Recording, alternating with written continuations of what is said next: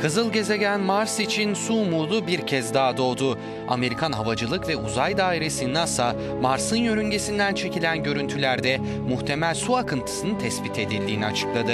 Gezegenin en sıcak aylarında bazı yüksek kesimlerden parmak şeklinde ve aşağıya doğru uzanan bu oluşumun ortaya çıktığı ve bunun muhtemel tuzlu su olduğu belirtildi. Would use it. That's a question, I I guess. We know Mars has Biliyoruz ki Mars çok fazla buza sahip. Fakat ilk defa sıvı su potansiyeliyle karşı karşıyayız. Bu tuzlu olabilir fakat sıvı.